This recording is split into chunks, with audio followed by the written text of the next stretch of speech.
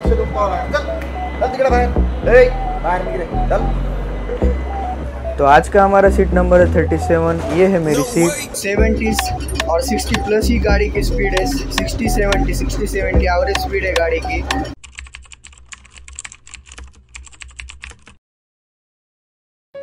Good morning everyone this is Shivam welcome to the video तो आज की हमारी जर्नी स्टार्ट होने वाली है बी वन से। गाड़ी का नाम है हैदराबाद औरंगाबाद एक्सप्रेस और हमारा सीट नंबर है B one thirty seven train number है one seven six four nine और आज हम जाने वाले हैं औरंगाबाद को। आज का हमारा सीट नंबर है थर्टी सेवन ये है मेरी सीट और बाजू में भी कोई नहीं आने वाला है और हमें यहाँ पे एक मिरर भी दिया वाला है। और यहाँ पे लिखा वाला है कि 10 बजे से 6 बजे तक चार्जिंग सॉकेट बंद है, क्योंकि जो लाइट होती है वो फ्रंट रहती रहती है इस वजह से। और ये है फ़ैन के लिए, ये है लाइट के लिए, और ये यहाँ पे चार्जिंग स्पॉट दिया है, जो आप दिन में इस्तेमाल कर सकते हो। यहाँ पे थोड़ा अच्छा खासा ईयर आ रहा है। और ये है मेरी सीट बाकी ऊपर तकिया भी दिया वाला है। और ये है पूरा view of the my seat ये है आज की ट्रेन का वॉशरूम एक बार मैं आपको दिखा देता हूँ में इंडियन टॉयलेट है यहाँ पे आउटर फ़ैन है, वो फ़ैन ऑन है। यहाँ पे एक मिरर दिया वाला है। यहाँ पे हैंड वॉश है, यहाँ पे पानी का नल है। और ये बेसिक सा एक वॉशरूम दिया वाला है। हाँ ये फ़ैन मेरे को लगता है शायद ऑन नहीं है। और ऐसा हमारा आज का वॉशरूम तो ये है इस ट्रेन का बेसिन और यहाँ पे एक डस्टबिन दी वाली है। ये अगर पैर से अपन ने क्लिक किया तो ये ऐसा ओपन होता है, ये देखो। बहुत बढ़िया। एक नंबर।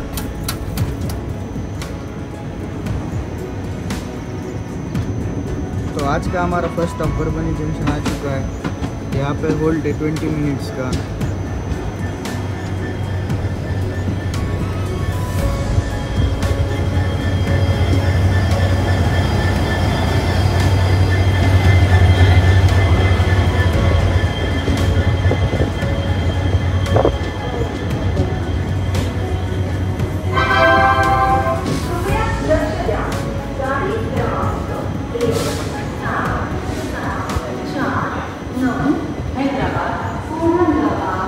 तो ये है हमारी आज की ट्रेन का engine.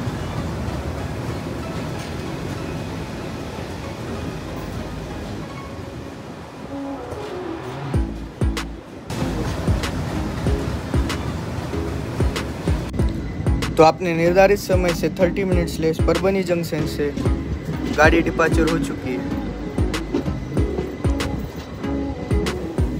Double 30 minutes late.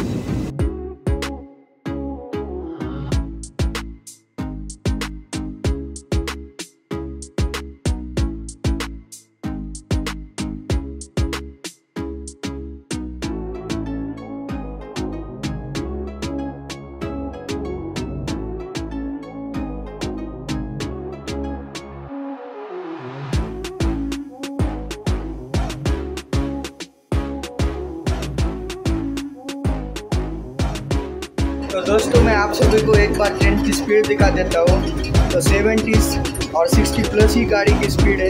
Sixty seventy sixty seventy average speed है गाड़ी की। और ये गाड़ी नॉन स्टॉप जा रही है। अब आपको मैं मेन मेन स्टॉप भी दिखा दूँगा।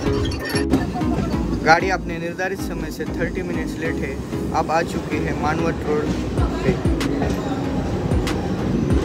मानवट रोड जंक्शन पे एक मिनट का होल्ड लेने के बाद गाड़ी अपने निर्धारित समय पे निकल चुकी है। दोस्तों बादल आ चुके हैं बहुत बढ़िया मौसम हो चुका है। यहाँ पे बहुत सारी हवाएँ चल रही है। आप तो इस ट्रेन की एक बात है कि इस ट्रेन में बाकी सब स्लीपर और जनरल कोच है पर एसी की एक ही कोच है। तो समय से 40 मिनट लेट हम आ चुके हैं जालना जंक्शन पे। गाड़ी का यहाँ पे होल्ड है दो मिनट का। तो ट्रेन में टीसी साहब ने दो मीटर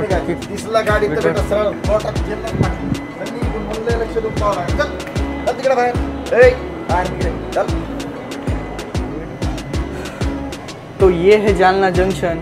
आप देख सकते हो मेरे पीछे यहाँ पे एक थोड़ा सा, एक छोटा सा लफड़ा हो गया था। टीसी साहब ने दो बच्चों को पकड़ा था, जिनके पास टिकट नहीं था और वो ऐसे ही ट्रेन में चढ़ गए थे।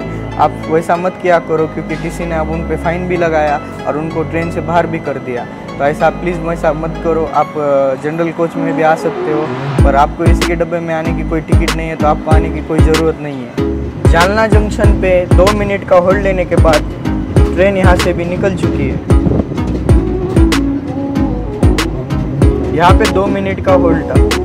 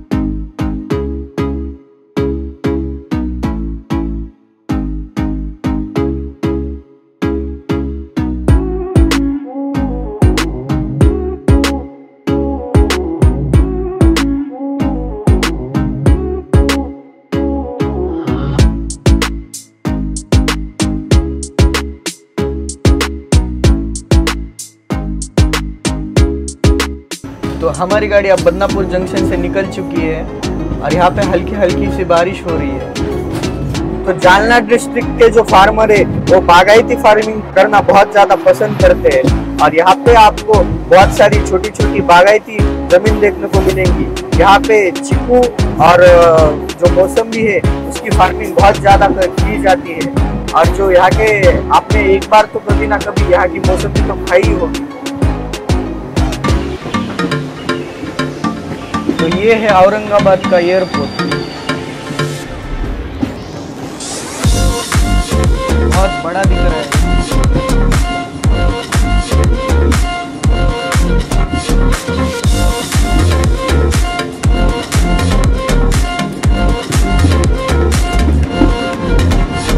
एक ही विमान दिख रहा है यहाँ पे, मैं आपको जूम करके दिखा देता हूँ। ये देखो, एक ही है खाली।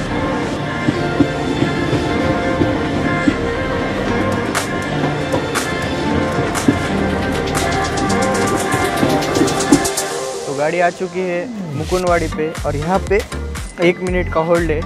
और मैंने आपको एयरपोर्ट का एक बार सीन दिखाया है। वहाँ से संभाजी नगर स्टार्ट होता है।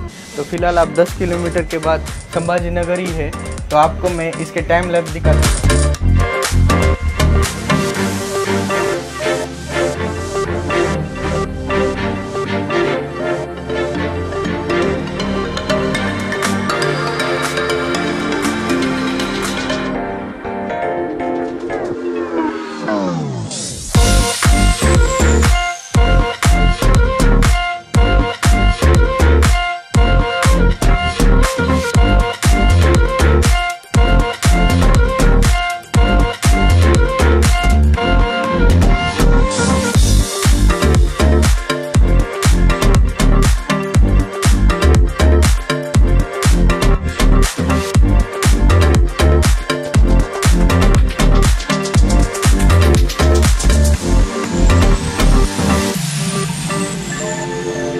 तो फाइनली दोस्तों, आप हमारी जर्नी यहाँ तक समाप्त हो गई और मैं 211 किलोमीटर का डिस्टेंस दे करके आया हूँ संभाजी नगर को। तो अब मेरा फ़र्स्ट काम है कि यहाँ पे एक अच्छा सा लॉज ढूंढना और मिलते हैं पार्ट टू में। बाय